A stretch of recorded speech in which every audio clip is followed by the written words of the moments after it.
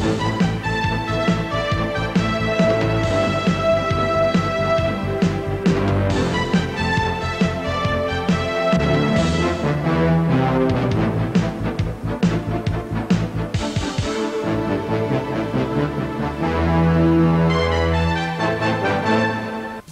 I've come backstage at a top London night spot to interview Lee Boardman, who recently appeared opposite Gwyneth Paltrow in the Hollywood adaptation of the Jane Austen novel Emma.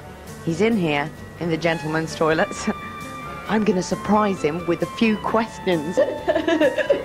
I've come here to ask you a few questions about what it was like working opposite Gwyneth Paltrow. I can't say that I've actually seen the movie yet, but I've heard really, really good things about you. Can you tell us how you landed the role? Yeah, uh, well, I was down in Iceland in Openshaw, and, you know, Geese comes up to me and says, you move really well with that trolley. You know, you fancy doing a bit of moving in the movies? So I said yes. Wow, that's amazing. So this was really your big break, and I suppose the phone hasn't stopped ringing. Um, well, actually, uh, the phone, probably the phone would not have stopped ringing, but actually the phone, in actual fact, has been cut off. Is anybody else in your family in show business?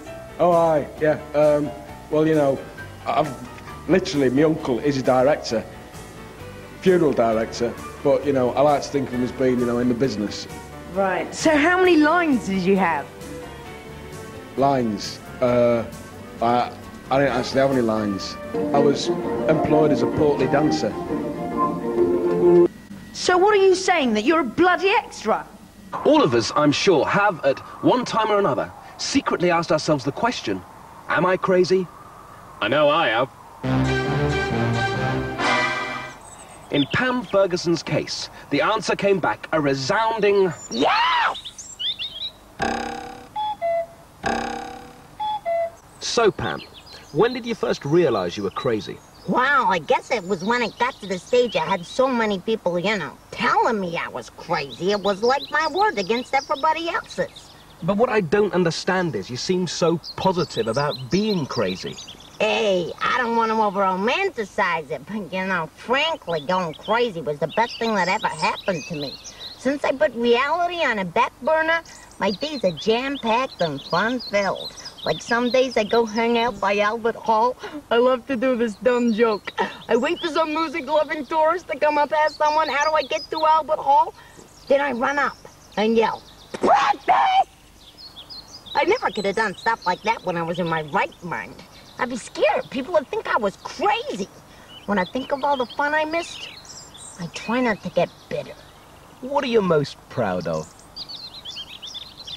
Oh, my bin bag dress. Protects against rain, sunstroke, and muggers. For some reason, muggers steer clear of people wearing bin bag dresses. Like Prince Charles, you also claim to be able to communicate with plant life. Oh, yeah, Charlie was the reason I moved over here in the first place. We got a lot of mutual friends. I used to talk to plants all the time. Then one day, they started talking back. Like this guy. Oh, what does he say? He says, Lee, grow up. Yeah, get a friggin' leaf.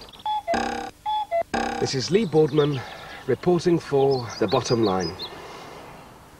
Things we like! Metal, Bikes, birds, booze, things we don't like! Generalisations. All people who make generalisations should be shot. Perfectionists! You know, I hate the way people pretend to try and perfectionate. Oh, that's not the right word. Uh, there is a word for it. Oh, it's gone. Um, Shut up. sorry. Sexists. Why is it always men who make sexist comments, eh? You'll find them balls, all of them. Yes! Racists! You know, I can't believe that there are people who are watching this show who can't even speak English. Yeah, disgusting. Pedantics. I hate, ped- no, I don't hate pedantics. I, I certainly don't like pedantics. Uh, just And like the finally, anarchists anarchists should all do what they're bloody well told. That was a public service announcement on behalf of the Therapist Party. We've all got used to the new connotations of words such as gay, lemon, and smorgasbord. Now, there's a new buzzword rage. You've all heard of road rage, but now there's an even more sinister strand elevator rage. Are you a victim? I'm joined today by Professor Fred Fiddlesticks from Pluckett University to find out more about this worrying epidemic. So, Professor Fiddlesticks, can you tell us how this has developed? Well, elevator rage is merely a symptom of a much larger problem, sick building syndrome, or SBS it's known. These large buildings are a breeding ground. It's well known for crime. It's, it's a proven fact the Hong Kong skyline is linked with the triads, the New York skyline with the mob, Canary Wharf with elevator rage. Well, I suppose what we all want to know is, is it curable? It is. The Chinese technique known as feng shui can cure it. So, all we need now is a guinea pig.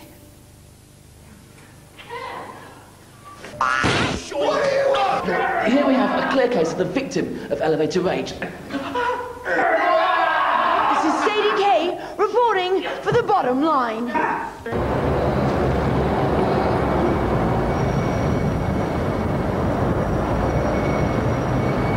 Yeah, yeah, I am. Uh, uh, my name's Boswell. Um, just come down for the day from Manchester to do a bit of shopping down Regent Street. But first of all, I need to find a bank. Now, uh, I asked a chap down at the Euston Tube where bank was, and he told me it's here. Um, but there don't seem to be any bank nowhere. I need 14 quid bloody southerners. To most men, love is a dirty word. Best avoided it's comparable to stepping in a dog turd. Women, on the other hand, like to cultivate love. Watch it grow. Stick a spade in every now and again to check for depth. Valentine's Day is therefore the ultimate male test. Failing it will result in tears, tantrums, and no sex for a month. Anyway, don't panic, because I've come today to meet Sherry Amore, who's got a few top tips as to how you men can survive the Valentine's Day challenge. Top tip one. Don't buy her chocolates. It's way too close to Christmas for that sort of thing. She's bound to be on a diet, which means she'll either feed them to the dog, yeah, or gobble them greedily and then hate you because she's just gained the same four pounds she lost last week, yeah, and her cellulite's complaining of deja vu. Top tip two. Don't buy her sexy underwear. Well, you can if you want, yeah? I know it's like feeling frisky, want to get risky, but just for God's sake, don't buy a padded bra. Because, you know, that's read as an insult of extreme proportions, and you'll spend the rest of the year being cattily interrogated on which of her friends is the best pair. To which, of course, the sensible response is, uh, Nigel. Top tip three! Don't take her out for a fancy meal yet if you're big on complaining in restaurants. I went out for a meal with my boyfriend, um, now ex-boyfriend last year. All through dinner, yeah, he'd be like this. A waiter! Waiter! This is cold! And waiter, yeah, he'd come over to the table and he'd be like this. Excuse me, sir, this is ice cream. Top tip four! Resist the temptation to impress her with your fabricated knowledge of wines and forget the phony French accent while ordering. The French waiter's not French, he grew up in Brixton. And remember, there is no such thing as a bottle of the house Witté. That's white, dickhead. Excuse me, Miss, Miss, could, could I have a word with you? It's Sadie Kaye from Bottom Line. Sadie Kaye, funny name for a bloke. You, Miss Vivian, I, I understand you've been exposed as a woman who's been setting fire to hamsters. Is this true? I don't believe this. I don't know where you people get your stories from. I don't know nothing about no arson attacks on hamsters, all right? So are, are you denying allegations? Of course I'm denying the allegations. It's all a load of hams wallop, innit? I, I believe the expression's codswallop. All right. One hamster. I set fire to one measly little beady-eyed rodent, and suddenly I'm like the woman who sets fire to hamsters. Ah, so you admitted then? Look, it was sick, all right? What was I supposed to do? Take it to the vets? I mean, taking an hamster to the vets, it's like Well, it's like taking a disposable lighter to the jewellers, isn't it? Ah, so you burned it, Miss Hunter. I cremated it, all right. I, I, I can't believe all this fuss just because of a couple of hamsters. More than one. Yeah, a couple, two, three, 67. What's the difference? They breed like rabbits anyway. Rabbits? You burnt rabbits as well? It was gonna die anyway. Since I, you know, cut its foot off for good luck and all that. I find this astonishing, Miss Hunter. I really do. Yeah, do you know what I find astonishing, darling? Yeah? That hood. What's this then? Yeah? Well, You're it- no saint, are you? It's What not is mine. it? I borrowed it. Come It- here, it's- darling, no. that's what they all say. It's not mine. Piss off! Go to any comedy gig in London or watch comedy on the telly and hear the cries around you. What's happened to comedy? Yes, where has all our comedy gone? Well, I have a theory about this. We're in England now. Who do British people laugh at? The Americans. Who do the Americans laugh at? The Canadians. Who do the Canadians laugh at? The French. Who do the French laugh at? Anybody who lives in Southeast Asia. Well, that's when they're not trying to nuke them, of course. And who do the Asians laugh at? The Germans. And that, you see, is the root of our problem because Germans, as we all know, have no sense of humour whatsoever. So that's what's happened to comedy. It's all got sucked up into Germany where it has no chance of escaping. Well, I've come to Trafalgar Square today in the freezing cold to see if I can find anybody who can make me laugh. Excuse me, mate, are you funny? Oh, I think so, yes. All right, then let's see if you can make me laugh. If you win, you get this. If you don't, you get something else.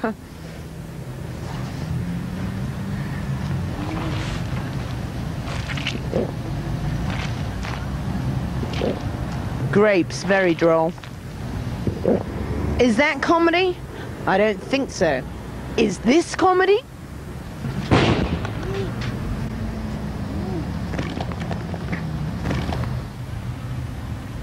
That'll do for me. This is Sadie Kaye reporting from the bottom step at the bottom line.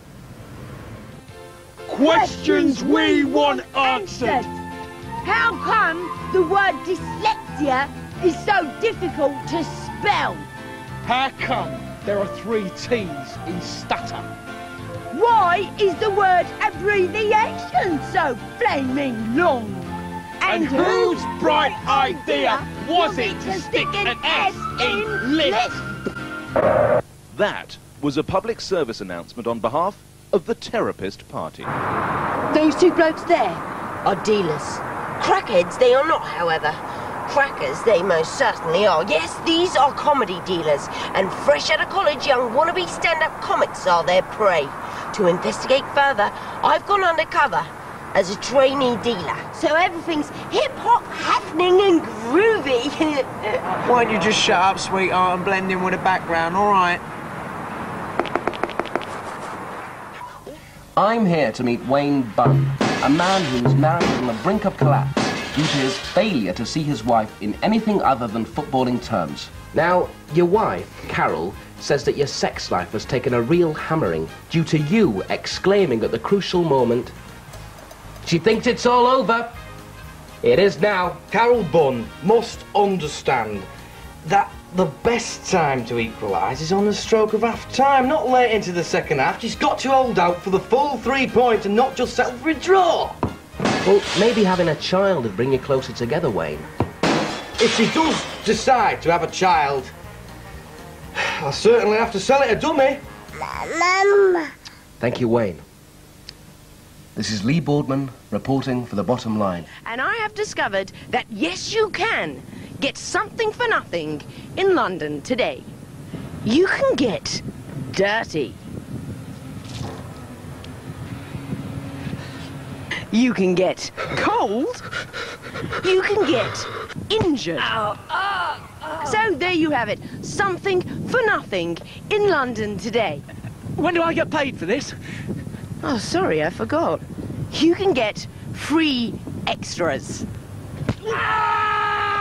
Stage and screen stars Robson and Jerome are on the street with Sadie Kaye. Did she actually get them this time? I'm here today to meet Robson and Jerome. Yes, the dynamic duo should be arriving any time now. Oh, don't do that, Jim. You know everyone will start to look.